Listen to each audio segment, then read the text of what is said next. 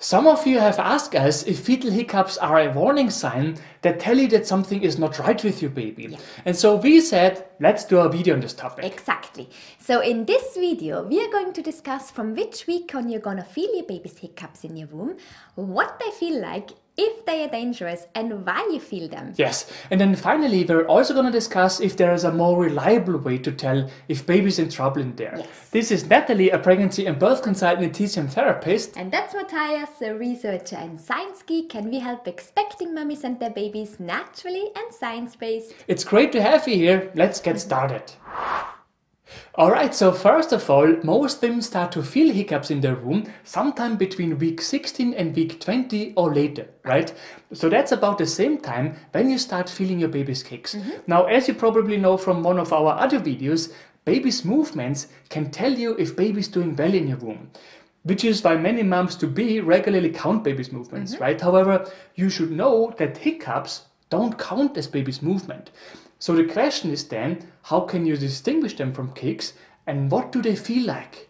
While at the beginning, it's almost impossible to distinguish hiccups from other movements. At 16 weeks, that baby is just too little. Yes, but then later on, women often describe the initial feeling of hiccups as popcorn popping or jerky movements, right? Yes. As for myself, when I was pregnant, hiccups very much felt like butterflies. So they are not as strong as kicks, they are smaller and they are more rhythmic when you feel them. Yes, but that does not necessarily mean that you feel them regularly, right? There may be days when you feel them several times a day, and then there may be other days when you don't feel them at all. Right.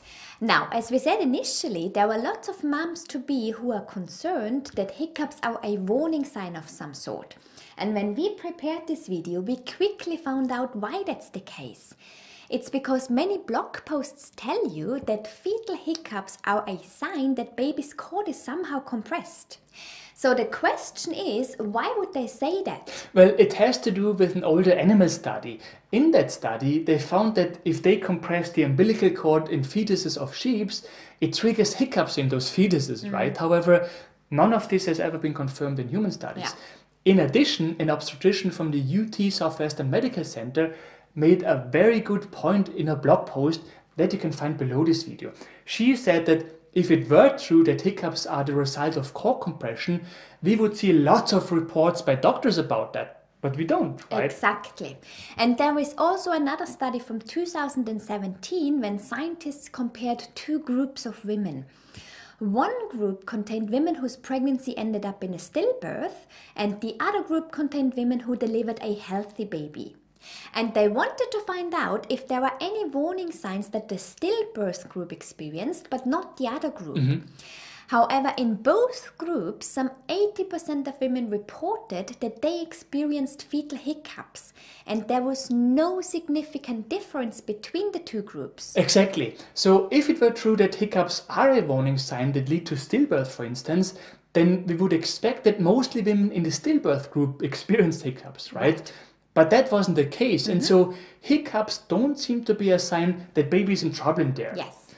So, the question is if they're not a warning sign, what's the purpose of fetal hiccups? Why do babies get hiccups? Well, to date, scientists are not quite sure what their function is, but hiccups basically follow a similar pattern as breathing does, just more forcefully. Hmm.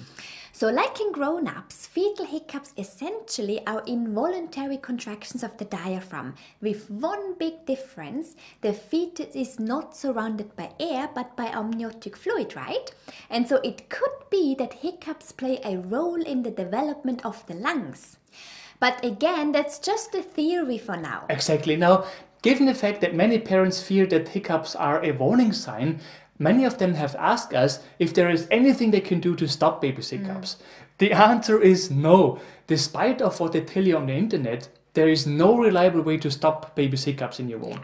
Of course, sometimes moms to be do report that certain things like cold water can help, but this is nothing that will systematically work, Mm. right? It may help on some occasions, but not on others. Exactly. But since the study that we mentioned found that hiccups don't seem to be a warning sign, you don't really have to do anything to get rid of them.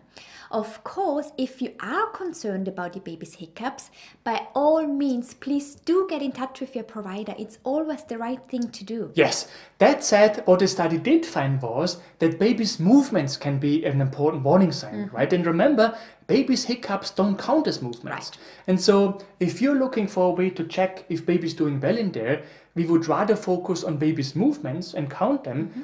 instead of focusing on hiccups. Right. Most importantly, we are either looking for a sudden outburst in activity or a lack of movements, mm-hmm. right? So, if you want to know more about when to worry if baby suddenly not moving as much anymore, watch the video that pops up now. You can also find it in the description below this video. Right. If you have found this video helpful, we would be super grateful if you could leave us a like below this video. Yes, and for more useful tips and tools on pregnancy and baby related topics, make sure to subscribe to our channel and to hit the bell.